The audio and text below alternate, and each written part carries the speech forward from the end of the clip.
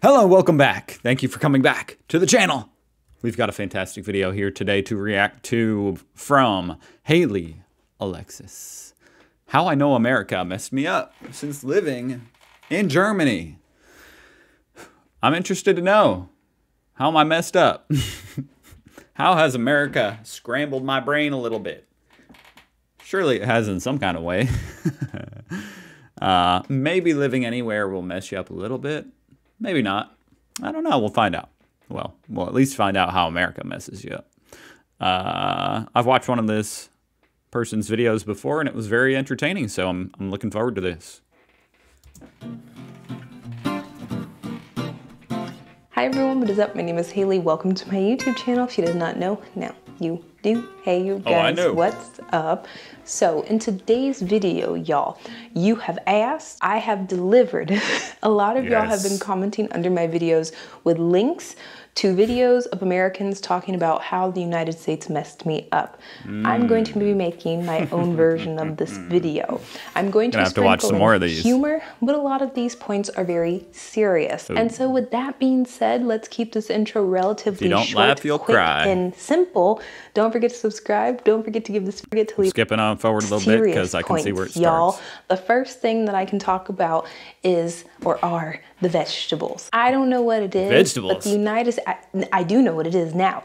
But when I first came to Germany and I started eating stuff, especially raw vegetables, I always wondered why it tasted so weird. I don't know how to explain it to you guys. Mm, so not necessarily better, but weird, huh? What are we doing here? Putting sugar in the seeds?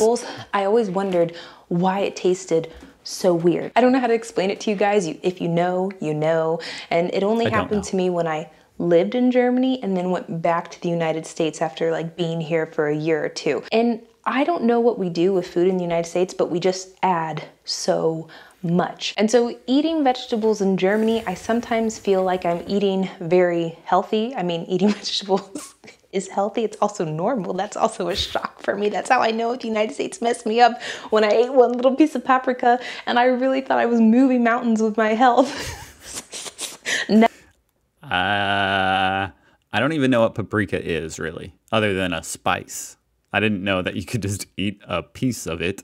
No, Haley, you're not doing anything eating that one little piece of paprika. This is also the same. So clearly, I'm messed up. With a lot of different snacks um, and unhealthy food options. When you come to Germany and you get cookies and then you compare it to an American cookie and the American cookie is 20 times sweeter even though the German cookie itself is already very sweet. And so that mm. took me a mm. very long time. It's kind of like when I drank Diet Coke for like a year and then tried a real Coke and I was like, what the heck? It's just straight sugar. Um, but yeah, I will say going to like farmers markets, like uh, legit actual food coming out of the ground and then they just like give it to you it does taste a lot better than what you get some processed crap and saran wrap to get my, how do you say, taste buds and just my body acclimated to this change. And so I knew the United States messed me up when I came to Germany, ate some vegetables, and thought to myself, ooh, why does this taste so bland? Or why does this taste like vegetables? Why does this taste so healthy? It's because I was used to every single freaking vegetable of mine stir fried, sauteed in a pound of butter and oil. It does taste so good when you put the butter in there, you saute it, you get rid of all the nutrition. Uh, it all leaks out, and then you're just left with this like crispy. and that's not healthy and that's not normal and that's not how you should Shocking. consume vegetables on a daily basis. I'm here to tell you if you're an American watch. I do love raw vegetables though.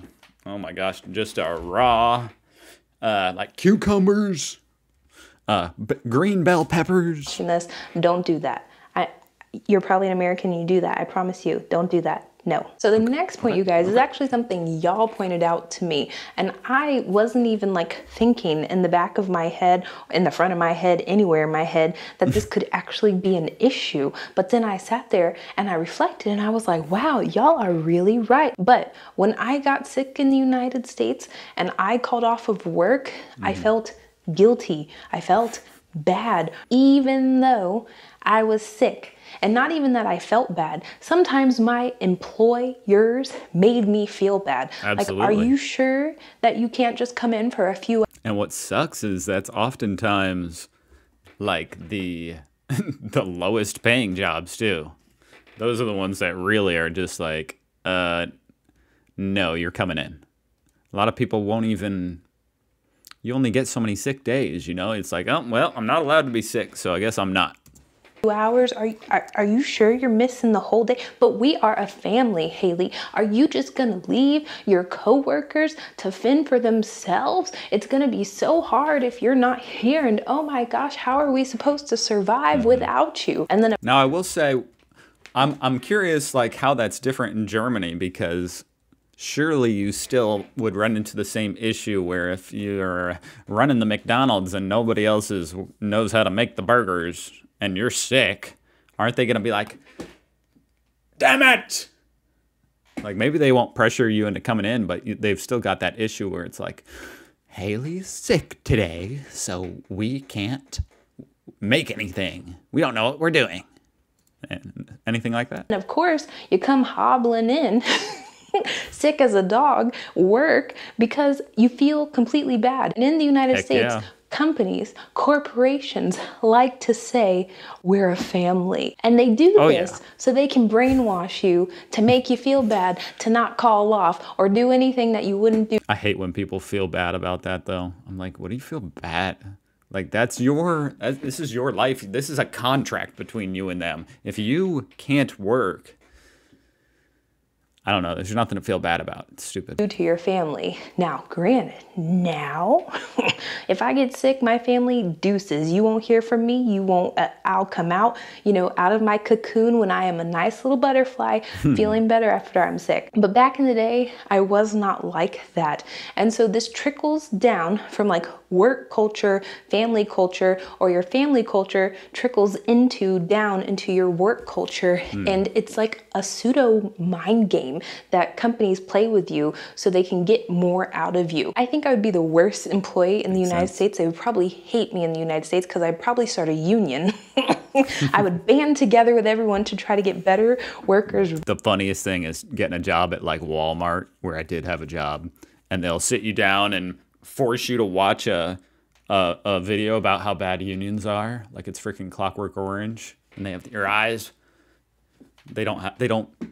They don't do that. But you have to sit there and watch a video about like how evil unions are and stuff. It's very funny rights. But I would also be the employee where they say, Are you sure you want to call out? I'd be like, F those people, F this company. I'm sick. I care about my health. Y'all don't care about my health. You don't give me no health care, yeah, no family. good health care, no good health insurance. Why should I care about y'all? Hmm. I probably wouldn't say it in that exact tone, y'all. I, I would say it in a more respectful manner, but you would get the point. So the next point is going to be turning down surgeries and procedures when I go to the doctor. This doesn't hmm. happen anymore for the most part. I would say like 99.9% this doesn't happen. I'll tell you one thing. They found a heart murmur in me and they said, all right, we're going to send you in for an echocardiogram.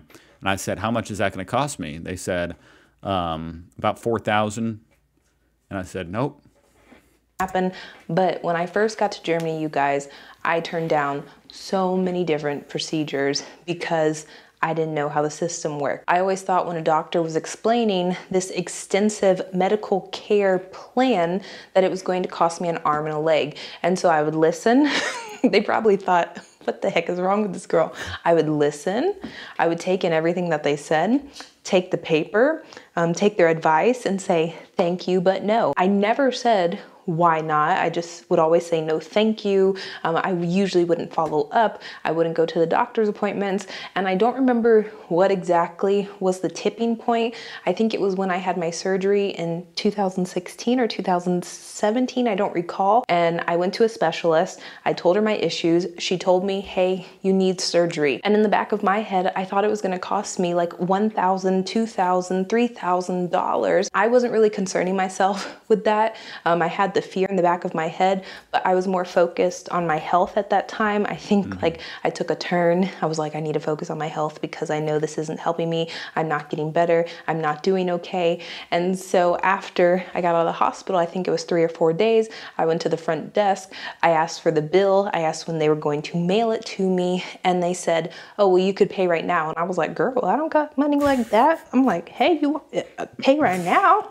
Uh, do y'all do accept credit cards from the United States? And she's like, it's only 30 or I think 40 bucks. And I was like, for what? But when's the big bill coming for? Is that like the um, the waiting room fee? The surgery that I had to stay in the hospital for three days.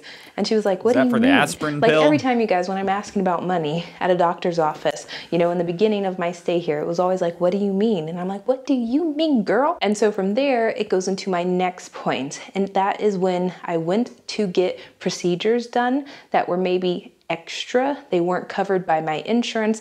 There are certain things that I get done just because of the surgery that I've had in the past that I feel like are necessary, but they aren't really medically necessary. And they cost me about, I would say, 90 euros a year. And so I remember wow. the first time my doctor was explaining this to me.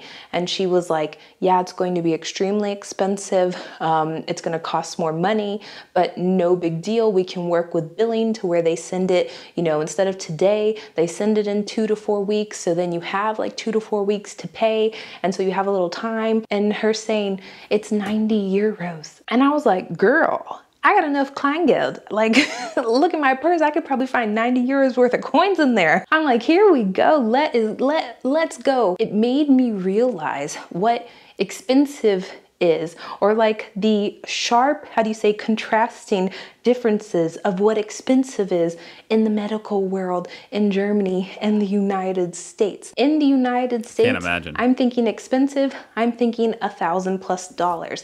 The lady at my doctor's office is saying that 90 to 100 euros is expensive. And the thing is, when you have such high sums, like in the United States, you start normalizing those Absolutely. numbers. Like, oh, you're only paying 500 bucks for this test. And for an American, you're like, oh, well, that's not bad because last year I had to pay 750. Wow, I'm getting a humongous discount. But in reality, that same test overseas costs 50 bucks, one tenth of the price. So the next point is going to be donating paid time off to coworkers. Crazy. So I mean, I've gone in just to like the urgent care for like a scan for like a kidney stone and I thought it was great that that was only 200 bucks. Something that is common and happens in a few businesses and corporations in the United States is that employees will donate some of their paid time off to sick employees. Someone that I know has cancer, they work a full-time job, they use all of their paid time off, they use all of their sick leave, and they had to basically beg all of their coworkers to donate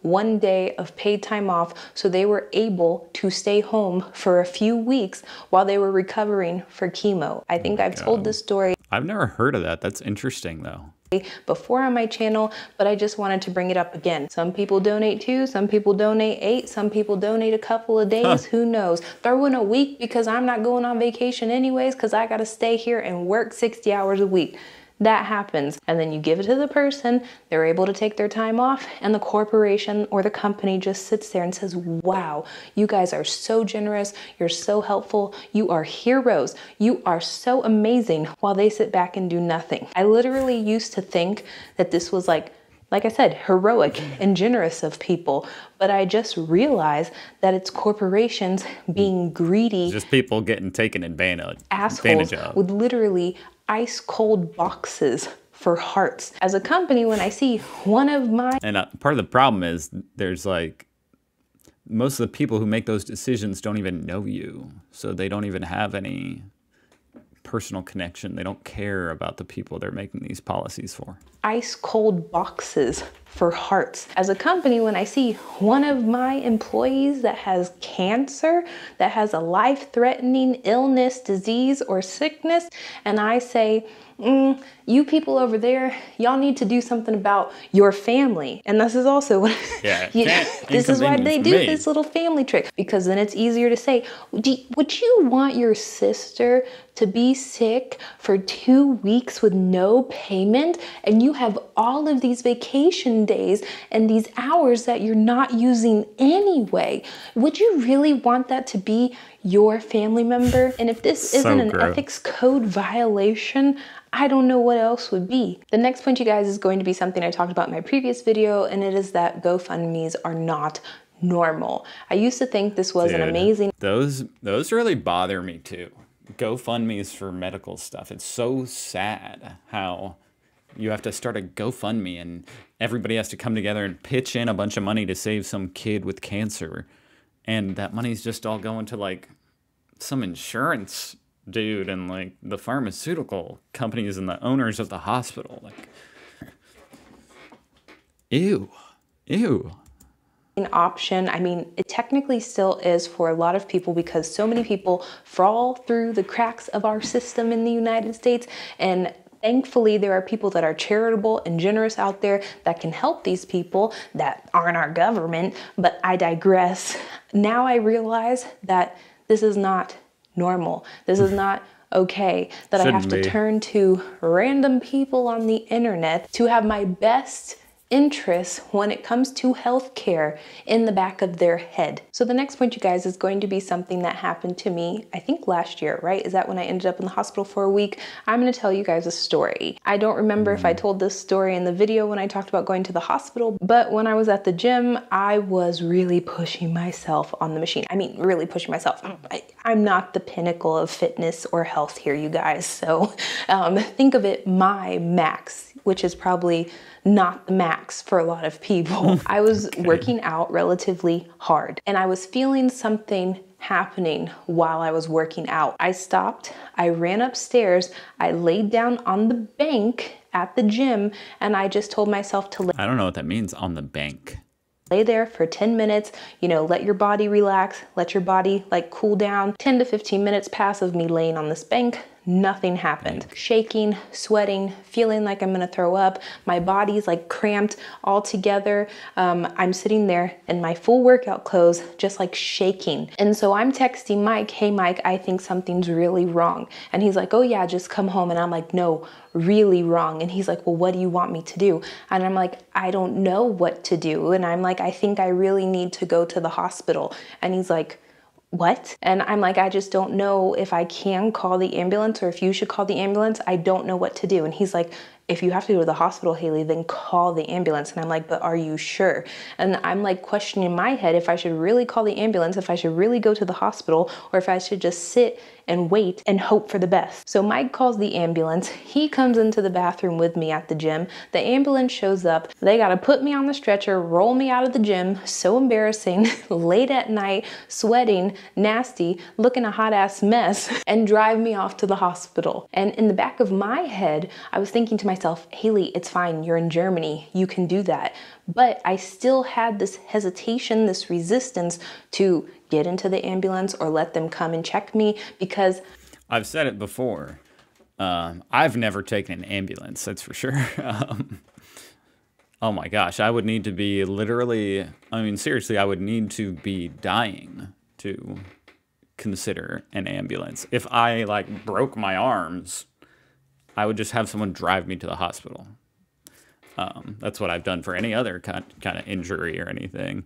Um, but my dad, my dad like fell off his bicycle, or no, no, no, no, no, no. My dad fell off his motorcycle, uh, broke his ribs, and some dude called him an ambulance. The ambulance showed up, and he's like, "No, no, I'm gonna, I'm gonna get back on the motorcycle and drive myself to the hospital because the ambulance is so expensive."